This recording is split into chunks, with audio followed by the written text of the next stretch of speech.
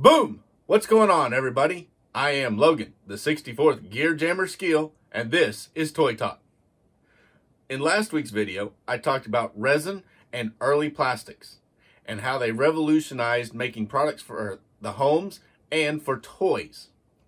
I also talked about a few manufacturers like Advantage Diecast and Speccast who have made resin toys over the years. And if you missed that video, please go click the link up above and get all caught up on that video. Also, please take a moment to subscribe to this channel to get notified of all of my videos.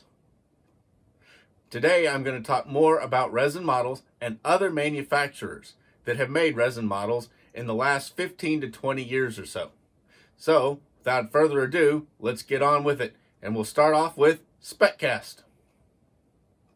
Speccast was the most prolific farm toy maker in resin. Speccast made many tractors in 1 16th scale in resin that had not enough market mass appeal to be made in true diecast. They also made a few 164 scale pulling tractors, and those are highly sought after, along with a few other items in resin. But I'm talking mainly the 1 16th scale farm tractors and implements. They used resin because of not enough uh, market appeal, but they wanted to remain competitive price-wise with the far more mass-produced die-cast models, making the resin collectibles far more collectible than the die-cast of the other manufacturers or other die-casts that even Speccast made because they're so much more limited. We start off over here with the BF Avery Model A tractor. This is a pretty rare tractor in the real world, very small market. We followed it up with a Silver King Model 42 tractor. Now, Speccast made other Silver King tractors, but the Model 42 is the one I have. They made an Allis-Chalmers fuel cell tractor. That was for the Orange Spectacular show in Hutchinson, Minnesota. They also did for the same show the Allis-Chalmers 160 tractor in resin. Now, getting to some experimental tractors, Speccast made them in resin because there was a small market. And we start off with the International HT340 turbine tractor and then the International HT341 turbine tractor. International worked back in the early days of turbines trying to see if they would be feasible for farm tractors they proved ineffective because the engines were so light, the tractors were so light, they were just couldn't pull. They had horsepower, but they didn't have any pulling power. Another experimental that they made was this Minneapolis Moline IT. Getting models of experimentals is actually kind of rare because most experimentals are just destroyed as soon as they're made rather than being even pictures getting out. So getting an experimental in your collection is a pretty cool thing. They also followed it up with this 1951 Wards tractor in a row crop narrow front version. They also did the 51 Wards as a wide front for the FFA. These are pretty cool tractors. Back in the day, you could go to Montgomery Wards and buy a tractor. And this is what you'd get. They're made in Indiana. Now today, that same concept of going to a department hardware type store and buying a tractor still exists. Rural King used to sell Massey Ferguson, and now they have their own brand of RK tractors. Pretty cool, huh? Now, Speccast also made a few implements for us, like this International 80 pull type combine, and they also made this new idea, Model 311 two-row pull type corn husker corn picker. Pretty cool implements. Now, Ertl they also dabbled with resin a little bit. It's not very well known and it's not very common, but they did back when John Deere acquired Cameco Manufacturing. They made a resin version of the Cameco sugarcane harvester to commemorate the merger. It was done so John Deere could show off what they had just purchased. And then Ertl made this resin version to commemorate it. Later, John Deere would paint them green and put their badges on them. And Ertl made the John Deere wheeled and tracked versions out of diecast and plastic in 132 scale. Now back to cars and trucks. Advantage Diecast has taken a twist on resin models. They did this by utilizing die-cast frames underneath their resin caps. These resin hybrids, they give the best of both worlds because they allow for low production numbers and they also allow for strong structural models that will enhance our collections on our shelves or on our dioramas. We have over here the first releases by Advantage Diecast. Up first is the 1975 Chevrolet C65 medium duty flatbed. Now this model comes in red, white, blue, and yellow versions. They were extremely limited at only 200 pieces apiece. Next, they had the 1973 Chevrolet Titan 90 cab over truck. Now, this was a very, very popular truck in the 1970s followed by the 1977 Chevrolet Bison with a sleeping compartment.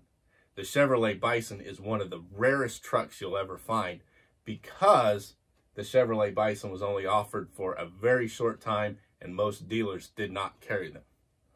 Also, they've released a day cab version of a 1980 Chevrolet Bison.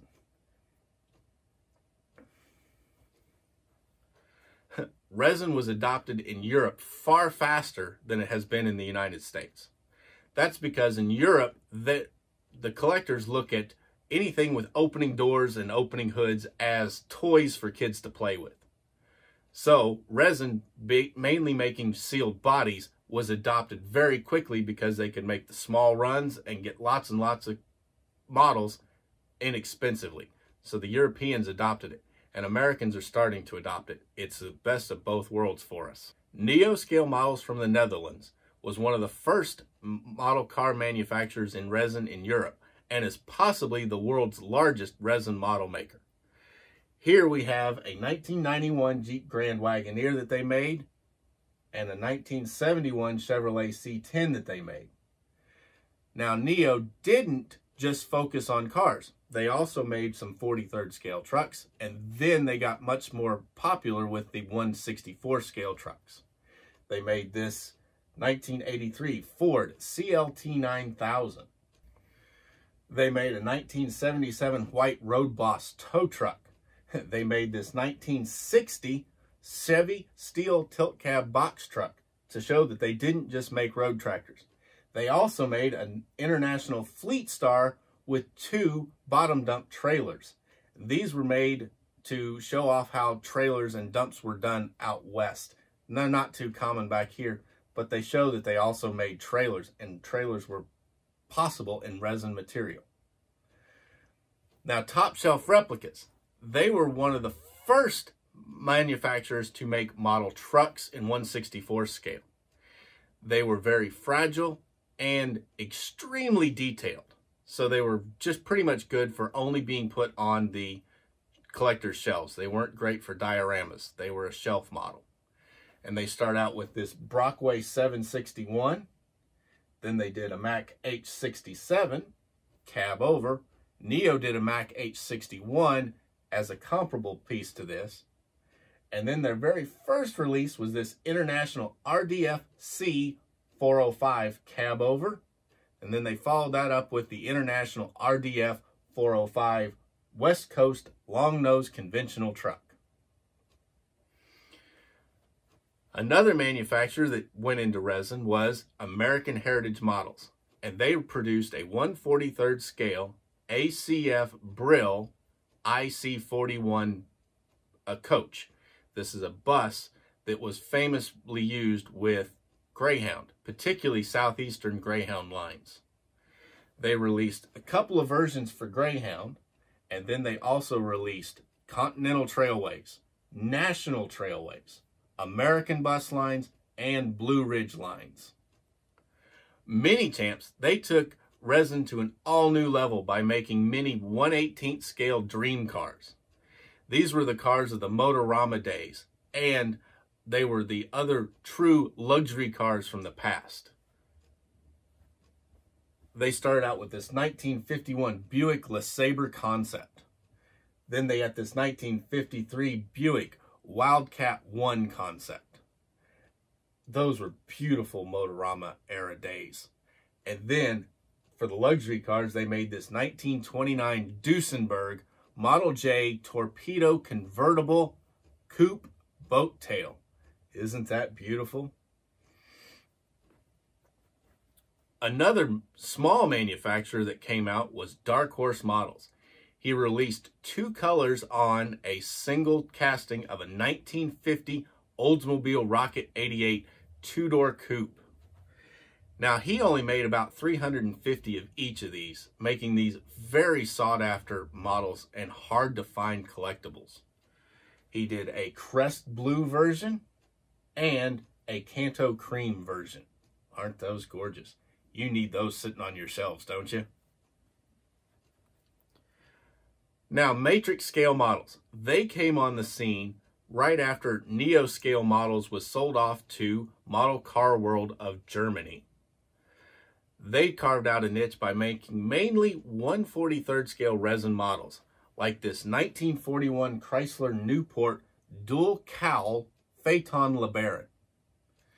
They also made this 1946 Delahaye 145 V12 Franay Cabriolet. But they've also started dabbling in 118th scale resin, like this 1977 Toyota Land Cruiser FJ40 possibly one of the most famous off-road vehicles ever built is the Land Cruiser by being the only four-wheel drive vehicle to make it to the base camp at Mount Fuji. Automodello, they changed the entire dynamic for resin when they came on the scene by making runs of 300 or less pieces.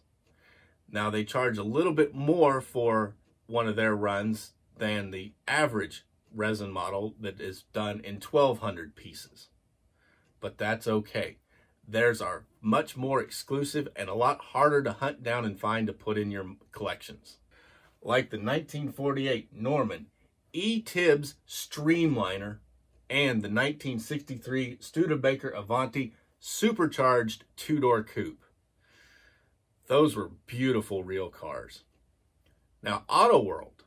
Yes, Auto World, that same company that makes all those beautiful, true to scale 164 scale releases. They also, in their early days, dabbled in resin models. And they made some 43rd scale releases like the Buick GNX. Wasn't that a just classic 80s muscle car? Then they did the 1988 Buick Regal. They did a 1977 Dodge Monaco for the Chicago Police. Now, this was out of the movie The Blues Brothers and they also possibly did the most famous Plymouth Fury of all time, the 1958 Fury that was used in the movie Christine. Another manufacturer who changed everything for resin was Best of Show. They came on the scene making higher production run models with a little bit lower cost.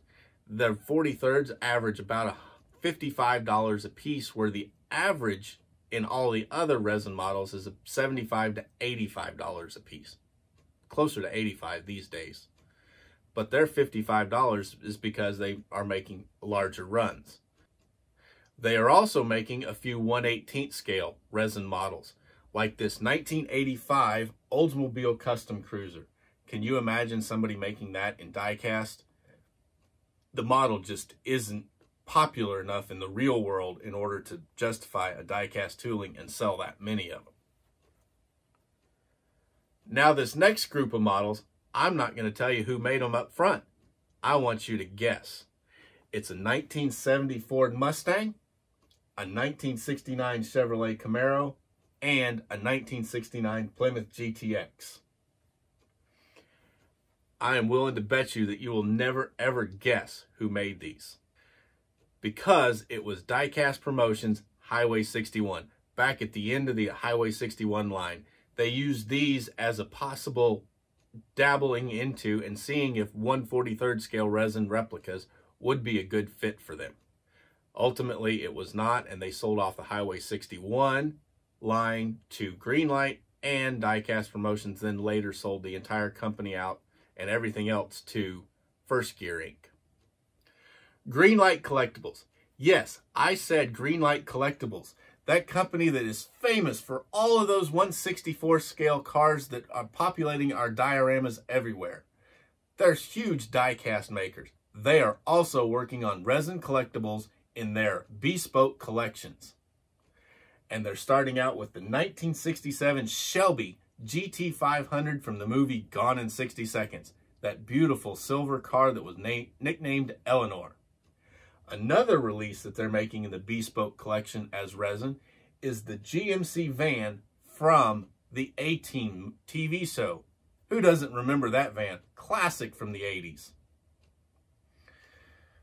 Now, let me know in the comments below if you have any of these models in your collections or about any other resin models that you might have. I'd like to hear about it. And from what you've seen today, you can see that resin is here and it is here to stay.